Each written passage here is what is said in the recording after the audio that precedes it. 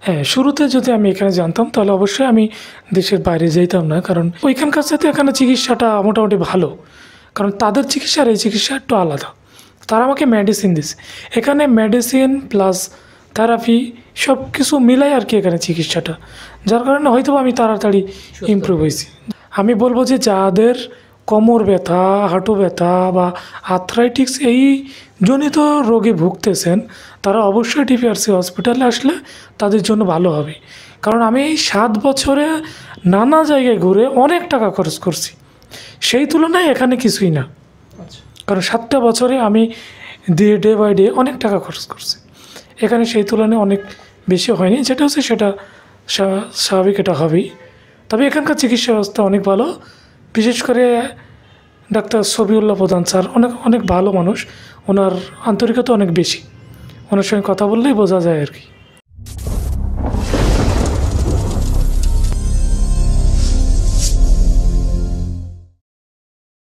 আসসালামু আলাইকুম।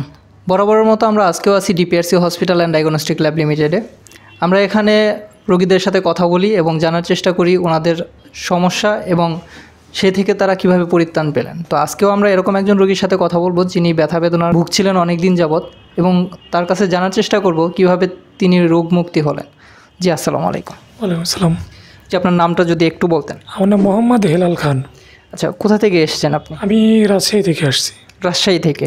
পেশাগতভাবে আপনি কি করেন আসলে? আমি বর্তমানে সাংবাদিকতা করি। আচ্ছা আচ্ছা। কিন্তু আমি সিঙ্গাপুর ছিলাম এক সময় তখন থেকে আমার এই ব্যথাটা আর কি শুরু হয়। আমি যখন সিঙ্গাপুর যাই তিন চার মাস পর থেকে আমার এই ব্যথাটা দেখা দেয়। প্রথমে কোমরে হাঁটুতে ব্যথা ছিল তারপরে পুরো শরীরটাই। তো আমি অনেক ডাক্তার দেখাইছি প্রায় দীর্ঘ তিন বছর। আর এর মধ্যে আমি প্রায় দেড় দুই বছর শুধু বিছানায় পড়েইছিলাম আচ্ছা। উঠতে পারতাম না। একসময় মনে হতো যে আমি হয়তো আর বাঁচবই না। মানে শরীরে এমন কন্ডিশন অনেকটা চিকনা হয়ে গেছিলাম। এখন তো মোটামুটি ঠিক আছি। তারপরে আমি, কলকাতায় যাই দুইবার। তারা কোনো রোগ ধরতে পারে না। পুরো বডি এমআরআই তারপরে সিটি স্ক্যান করার পরেও তারা কোনো রোগ ধরতে পারে না। তারপরে আমি দেশে আবারও ফিরে আসি। প্রায় এক দেড় বছর আবারও নানা জায়গায় আপনার বিভিন্ন চিকিৎসা নিই। ওই অনেকে ফু দেয় এরকম কিছু করাইছি। তারপরে আমি আবারও শেষ চিকিৎসা ভেবে আমি আবারও ভেলোরে যাই। তো সেখানে যা কিছুটা ইমপ্রুভ হয়, পুরোপুরি না। তারপরে আমি স্যারের এখানে আসি। আসার পরে এখন এই যে পাঁচ দিন ট্রিটমেন্ট নেওয়ার পরে ভালো হয়ে গেছি। আমার আর আপাতত কোনো ব্যথা ট্যাথা নেই। জি না। আচ্ছা আপনি কি সিঙ্গাপুর থাকা অবস্থায় এই সমস্যাটায় পড়েন? আমার এই পুরো সমস্যাটাই সিঙ্গাপুর যাওয়ার পরে। দেশে থাকতে আমার কোনো শরীরে ব্যথা ট্যাথা ছিল না কোনো রোগই ছিল না। আচ্ছা এই সমস্যাটায় কি আপনি সেখানকার যে কাজকর্ম অথবা হাঁটাচলা করতে কি সমস্যা হতো? আসলে কখনো আঘাত লাগেছে এরকম কিছু মনে হয়নি। তবে নিশ্চয়ই কিছু একটা হয়েছে যেটা আমি হয়তো বা বুঝতে পারিনি। কাজের ফাঁকে কারণ সিঙ্গাপুর কাজ তো কনস্ট্রাকশন কাজ কাজের চাপ থাকে অনেক প্রেশার থাকে।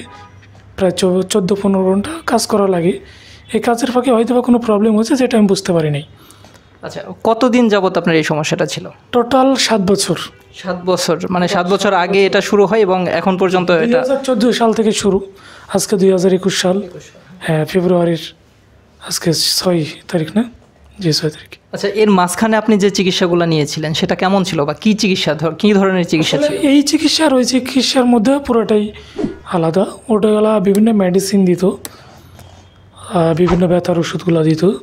যা খেয়ে হয়তো বা আমি ওই যতদিন মেডিসিন নিতাম ততদিনই ভালো থাকতাম। মানে পেইনটা বুঝতেন না। পেনটা বুঝতাম না। মেডিসিন শেষ করার সঙ্গে সঙ্গে হয়তো সকালে শেষ করছে বিকেল থেকে পেনটা আবারও শুরু হয়েছে।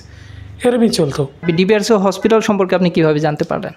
আচ্ছা আমি যখন এরকম অবস্থায় ছিলাম তখন আমি বাবা সবসময় নেটে সার্চ দিতাম যে এই রোগ থেকে কীভাবে মুক্তি পাওয়া যায় এই সমস্যা। তো দিতে দিতে আমি ইউটিউবে স্যারের একটা ইয়ে পাই এবং এসএ টিভিতে স্যার প্রতি শুক্রবার সাড়ে নয়টায় সাক্ষাৎকার দিয়ে থাকেন। আমি এটা নিয়মিত দেখতাম। তো নিয়মিত দেখতে দেখতে দেখতে দুই হাজার বিশ সালের সেপ্টেম্বরের সতেরো তারিখে আমি স্যারের কাছে আসি। আসার পরে স্যার আমাকে ভর্তি হতে বলে কিন্তু আমার কিছু ব্যক্তিগত সমস্যার কারণে আমি ভর্তি হই নাই। স্যারকে বললাম স্যার আপাতত আমি ভর্তি হব না আমি পরে হব। স্যার তখন কিছু মেডিসিন দেয়। সে মেডিসিন খেয়ে আমি প্রায় এক দেড় মাস মোটামুটি ভালোই থাকি। তারপরে আমি কিছু কাজ করতে লাগি। আমি দুই তিনতলায় থাকি। তো তো আমি নিচে থেকে পানি বালতিতে করে পানি টানি ওঠাইতে লেগে। আমার মাজায় ব্যথাটা আবার বেড়ে যায়। আচ্ছা। তখন আমি আবারও স্যারের কাছে যে আসছি। আসার পর থেকে আমি যখন স্যার কাছে আসলাম, তখন আবার একটু বেশি হয়ে যায়। তো আমি এই চার দিন ট্রিটমেন্ট পাঁচ দিন টোটালি পাঁচ দিন ট্রিটমেন্ট নেওয়ার পরে এখন মোটামুটি সুস্থ হয়ে গেছে। এখন কি আপনার সেই ব্যথাগুলো আছে বা আপনি কি বুঝতে পারেন সেই ব্যথাগুলো আপনার শরীরে আছে কি নাই? না ওই ব্যথাগুলো আসলে এখন আর নাই। এখন আর নেই।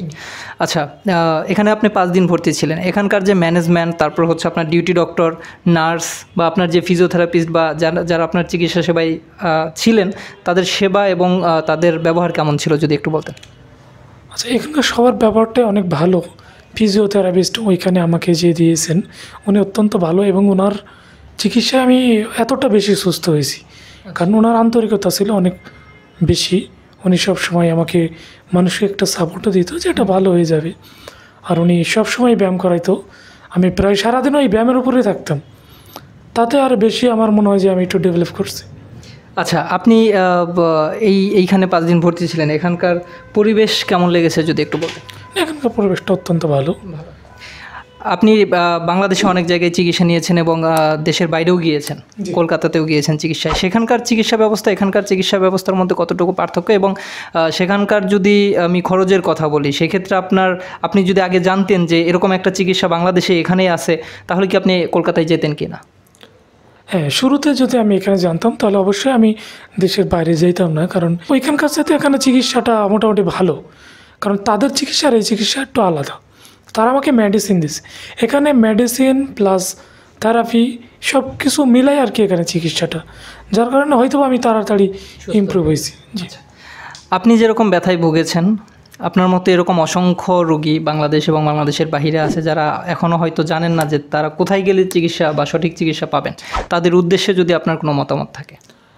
হ্যাঁ অবশ্যই তারা আমি বলব যে যাদের কোমর ব্যথা হাঁটু ব্যথা বা আর্থ্রাইটিক্স এই জনিত রোগে ভুগতেছেন তারা অবশ্যই ডিপিআরসি হসপিটালে আসলে তাদের জন্য ভালো হবে। কারণ আমি এই সাত বছরে নানা জায়গায় ঘুরে অনেক টাকা খরচ করছি। সেই তুলনায় এখানে কিছুই না। কারণ সাতটা বছরে আমি দিয়ে ডে বাই ডে অনেক টাকা খরচ করছি। এখানে সেই তুলনায় অনেক বেশি হয়নি। যেটা হচ্ছে সেটা স্বা- স্বাভাবিক এটা হবেই। তবে এখানকার চিকিৎসা ব্যবস্থা অনেক ভালো। বিশেষ করে ডাক্তার সবিউল্লাহ প্রধান স্যার অনেক অনেক ভালো মানুষ। ওনার আন্তরিকতা অনেক বেশি। ওনার সঙ্গে কথা বললেই বোঝা যায় আর কি। জি। মেডিকেল বিডির পক্ষ থেকে আপনাকে অসংখ্য ধন্যবাদ। আমাদের সাথে আপনার যে মূল্যবান বক্তব্য সেটা শেয়ার করার জন্য। আসসালাম আলাইকুম। আপনাদেরকে অনেক ধন্যবাদ।